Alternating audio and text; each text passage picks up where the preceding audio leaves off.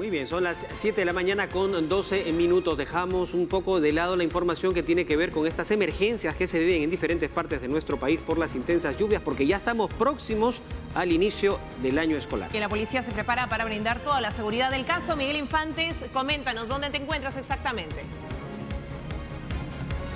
Gracias compañeros. Venta de drogas, trata de personas, maltrato infantil, abuso sexual. Todos estos son algunos delitos que ocurren justamente en contra de los escolares. Estamos viendo la recreación de eh, una venta de drogas aquí en los exteriores del colegio Mariano Melgar.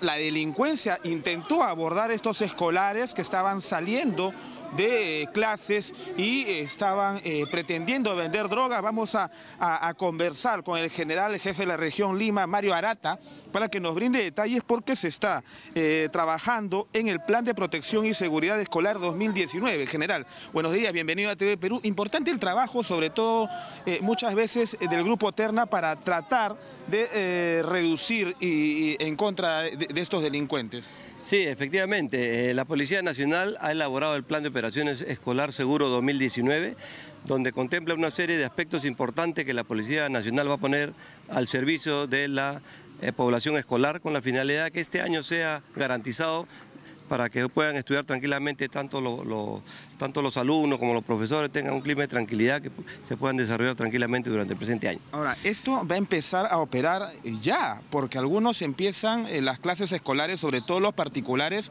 el próximo lunes, el 4 de marzo, y las entidades estatales el, 11 de marzo, ¿verdad? Sí, el día 4 de marzo empieza la mayoría de colegios privados y el día 11 ya con los colegios este, nacionales, el grueso ya todos los colegios se inician, de tal manera que ya, ya la Policía Nacional ha estructurado todo un plan de operaciones que nos permita coberturar los servicios, tanto la entrada y salida de los colegios como las zonas de adyacente influencia, que eliminar los peligros que puedan correr nuestros escolares.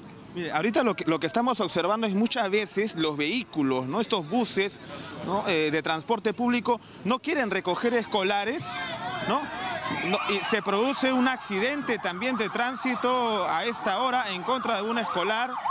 Todos estos todos estos hechos ocurren a nivel nacional general, son accidentes hechos que ocurren y que eh, muchas veces los escolares después están expuestos al peligro. Sí, efectivamente, es una invocación que vamos a hacer también a los conductores del vehículo de transporte público que recojan a los escolares. No, a veces no lo hacen porque pagan medio pasaje y situaciones que a ellos no, económicamente no le, no le representa un ingreso ¿no?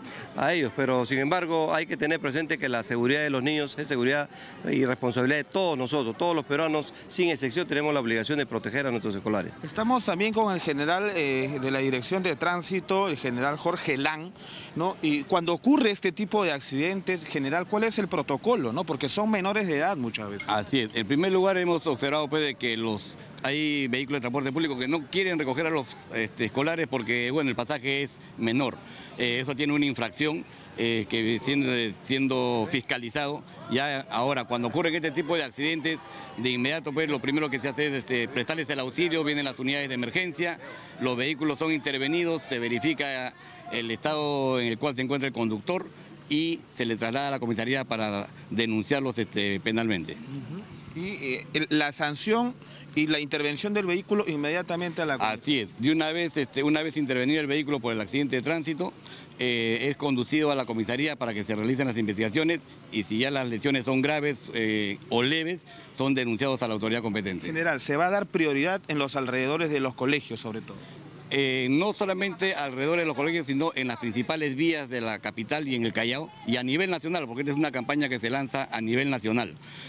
va a estar la policía en forma integral, brindando la seguridad en todos los colegios, en las principales vías, eh, dándole fluidez, seguridad a los niños que van a acudir a los colegios estamos también con el general Javier Gallardo de la Dirección de Seguridad Ciudadana y para que nos explique más, o menos cuánto personal se despliega, agentes policiales, sobre todo para el cuidado de los escolares, y no solamente de los escolares, sino de los profesores, de los padres de familia que acuden a, estos centros educativos. Claro, eh, la Dirección de Seguridad Ciudadana de la Policía Nacional se interrelaciona con este plan escolar 2019 por intermedio pues de eh, la eh, grupo de eh, los directores de los colegios, los centros, las instituciones educativas, los los, eh, profesores, los alumnos propiamente y la policía en forma integral, integrada, organizada, para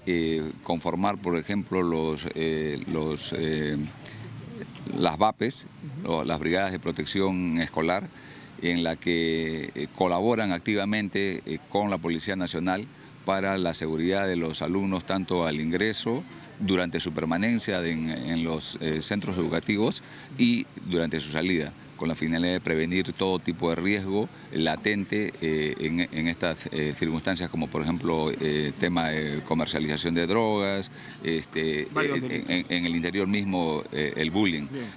así en el interior mismo también un, tema fundamental, muchísimas gracias general, el bullying, ¿no? Otro, otro de los factores.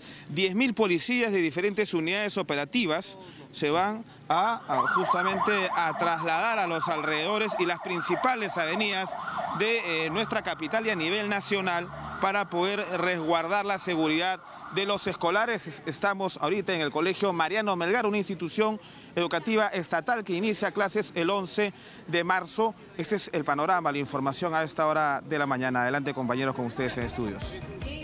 Bueno, hemos podido apreciar varias circunstancias, varias situaciones de peligro y riesgos a los que están expuestos los estudiantes, los padres también, porque es una preocupación constante, los docentes que deben estar al tanto y bueno, la policía, que ojalá se dé abasto para cubrir ¿no? la mayor parte de instituciones educativas. Y una digamos, una recomendación, en realidad es un pedido a aquellos que conducen por las inmediaciones de los colegios.